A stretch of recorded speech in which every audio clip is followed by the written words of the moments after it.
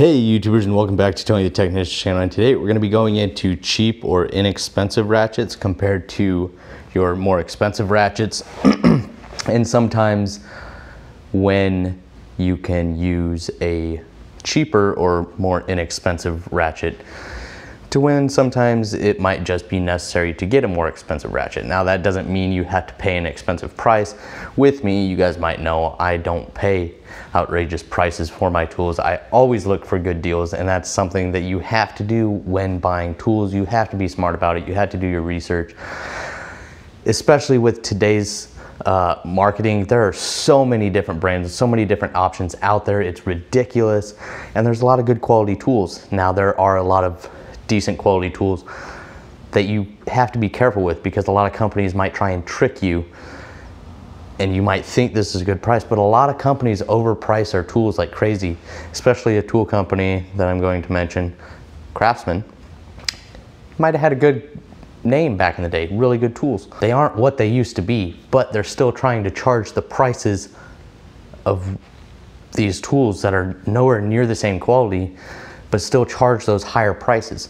So today we're gonna go into cheap and inexpensive versus expensive and when you might be able to get away with buying one over the other and save yourself some money. And sometimes it's just necessary to buy that more expensive brand or tool.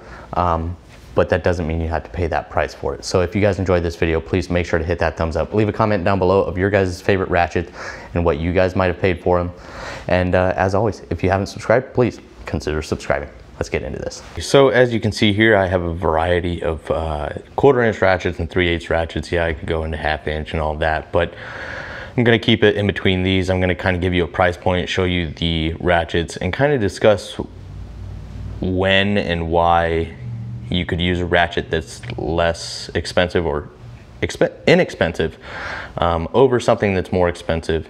And then sometimes where it might be necessary to buy an expensive ratchet. And in no way am I saying that the expensive ones are not of good quality. Uh, I'm just stating that sometimes it is not always necessary to have those expensive ratchets. And when you do feel the need that you have to have that expensive ratchet, try and find the best deal possible. They are out there. No, you might not be able to get them right away.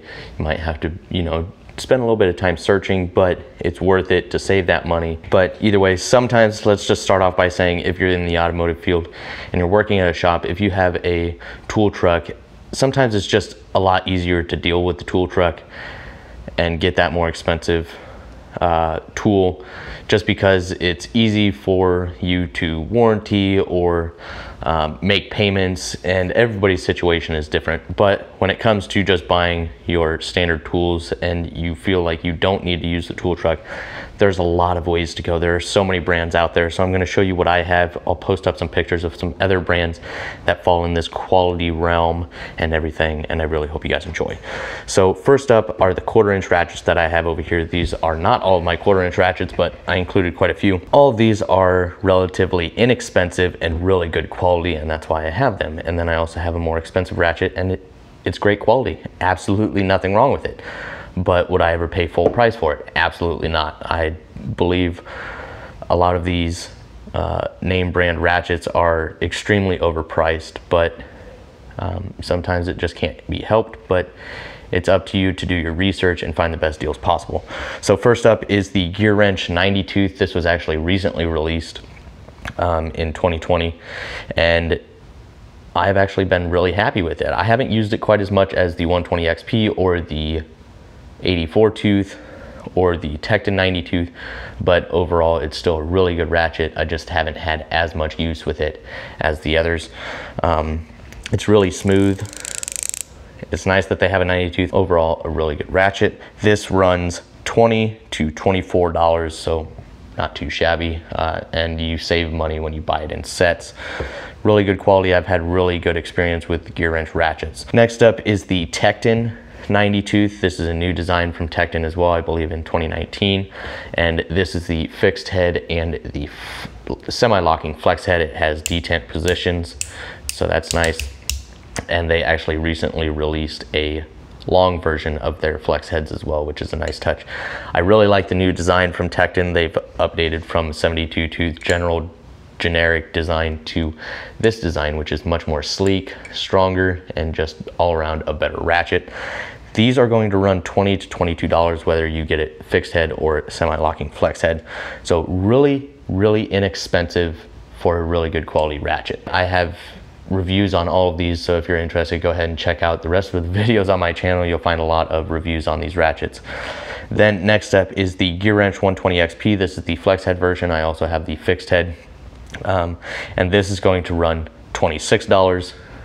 And it's just nice to have that semi-locking flex head. I love the 120 XPs. They're great. If you don't know about them, they're a 62 main gear and dual poles giving you 120 positions. So uh, a low arc swing with really good strength. So a really good, inexpensive, really good quality ratchet there.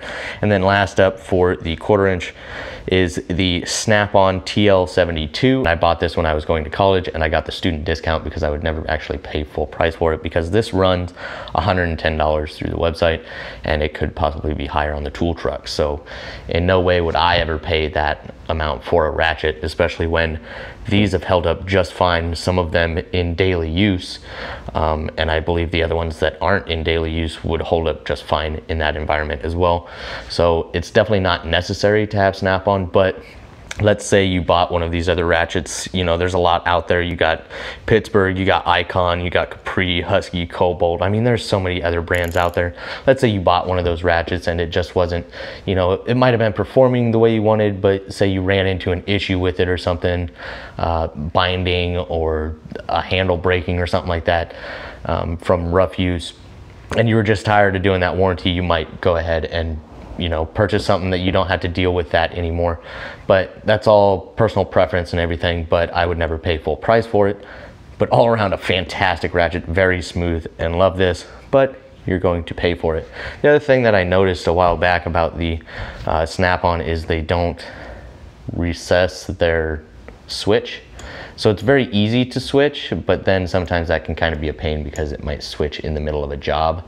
Whereas all the other ratchet designs, the common thing is to recess the switch so they're not sticking up extremely high and able to be caught on things to switch directions. So that is one thing that I noticed about the Snap-on that I really don't care for. I do like how easy it is to switch, but that can also be a con as well.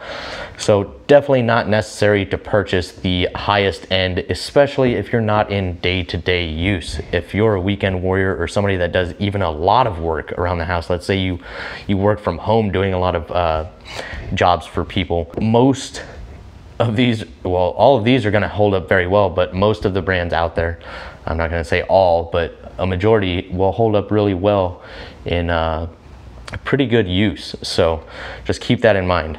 Don't let others influence you. I'm not suggesting that you purchase any of these. I'm not saying, hey, you have to have this. I'm just kind of showing you what is available.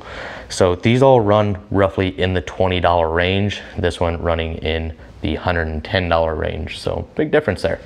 Moving on to 3 8 these are the standard length, roughly 8 inches each. And here I have the Tekton Flex Head, and you can also get it in fixed head.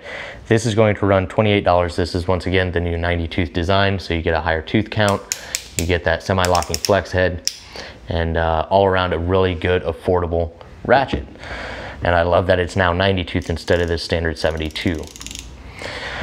Then I have the Carlyle. So this was 28.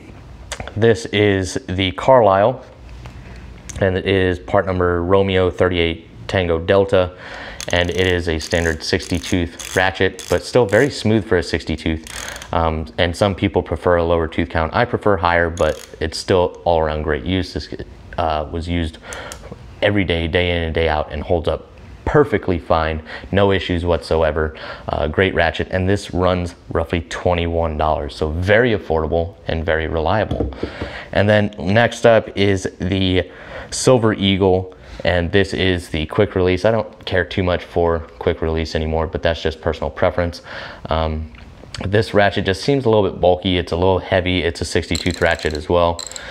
And uh, it is like Matco's cheap version, kind of like Blue Point is to Snap-on. So this is going to run $32, so a little bit higher than these two. And uh, nothing wrong with this ratchet, it's just not what I prefer. And then when you actually get into the Matco 3 8 drive ratchets, it can range big time from 105 to 190. And most of Matco's stuff is not even made in the USA. You know, it's uh, a lot of it shares a lot of tools with many other brands so you're really not getting anything too special of course matco makes you know their own handle or i shouldn't say makes their own handles but they have their own design for their tools i don't buy a lot of matco personally because i can find the same quality in other brands for a much better price. So that's just my personal preference. And then moving into the last ones, this is the Tekton new 90 tooth semi-locking flex head that I told you about. Quick release, you can get it non-quick release. And I love the length to it. I love that they added the long flex heads to their lineup. And then I have the snap-on FL80, amazing ratchet. I absolutely love this ratchet, but I would never pay full price for it. Once again, I picked that up with the student discount, and that was $35 for this Tekton semi-locking flex head. Great quality, absolutely love this ratchet. And then the snap-on, this is the long version, not the extra long, but the long version.